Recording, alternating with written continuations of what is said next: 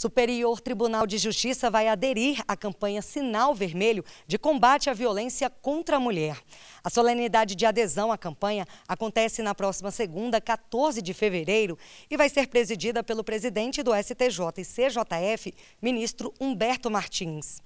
Criada pela Associação dos Magistrados Brasileiros, em parceria com o Conselho Nacional de Justiça, o CNJ, a iniciativa busca integrar os poderes públicos e a sociedade na luta contra a violência doméstica.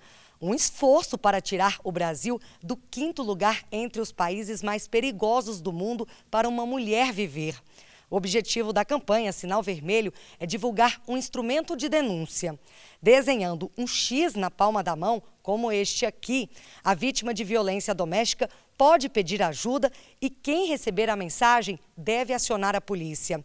A solenidade de segunda-feira contará com palestras e a presença de autoridades.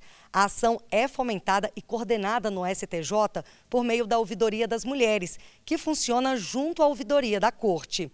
O evento virtual será transmitido pelo canal do STJ no YouTube.